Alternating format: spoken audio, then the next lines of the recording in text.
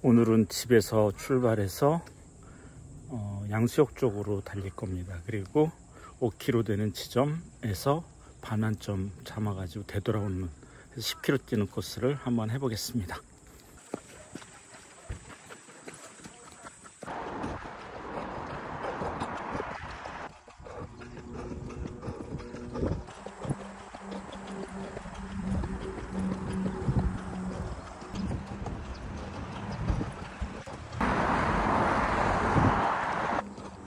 신원역까지 도착했습니다. 약 3km 정도 됩니다. 집에서 신원역까지.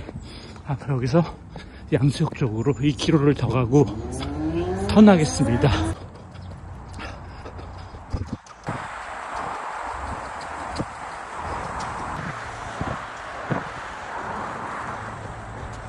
구용 1터널입니다.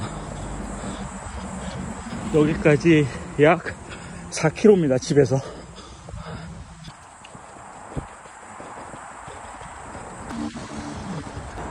구용 2터널 지나고 있습니다. 여기까지 4.7km입니다. 구용 제2 터널 지나고 있습니다.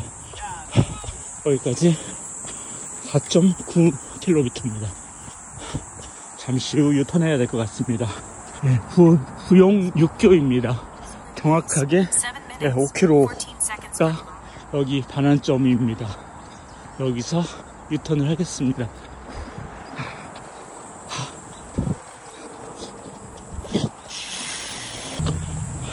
다시 부용 제2터널입니다.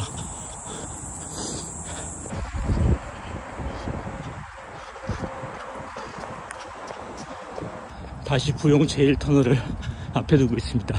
여기까지 거리는 대략 6km 정도 뛰었고요.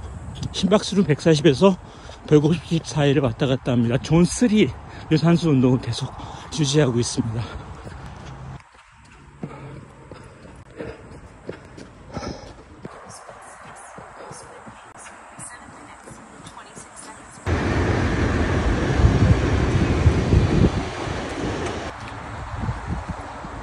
자전거들이 멍멍이 태우고 가고 있습니다. 가을이 닮은 시바견이네요.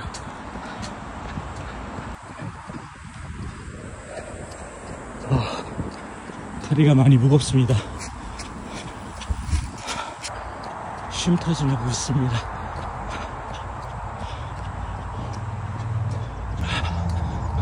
신혼역에 다시 가까워지고 있습니다. 3km만 더 뛰면은 10km 달리기 성공하는 셈이죠. 신원역 도착했습니다. 다리가 많이 무거워졌습니다. 심박수는 계속 140 정도 유지하고 있, 있고요.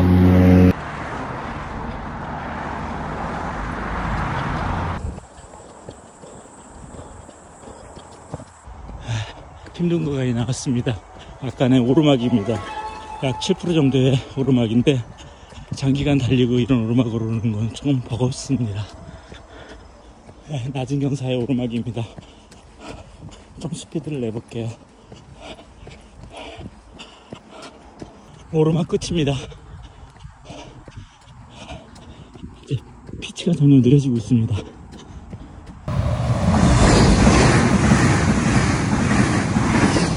(8km) 지점 지났습니다. 아, 달기 속도가 1km당 약 1분 정도 떨어졌고요. 다리는 무겁고. 근데 숨이 차거나 그러진 않습니다. 심폐 기능은 괜찮은데 다리 근육이 못 쫓아가는 것 같습니다. 다리 근육을 더 키워야 될 것 같아요. 자전거 도로에서 이제 마을 입구 쪽으로 빠지는 지름길로 접어듭니다. 지금 8.6km 구간입니다. 마을 입구에 접어듭니다. 여기서부터 저 집까지는 마지막 큰 오르막입니다. 그래서 마지막이 제일 힘들어요. 1.2km 정도를 마지막 큰 언덕으로 계속 올라가야 됩니다. 마지막 빛을 올리겠습니다. 9km 지점 통과하고 있습니다. 1km만 더 올라가면은 집입니다.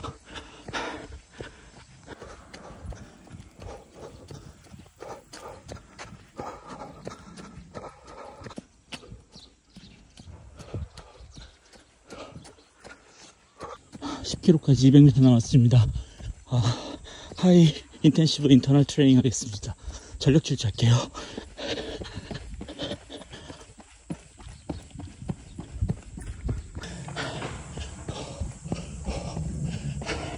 아, 서포 스피드 간답니다.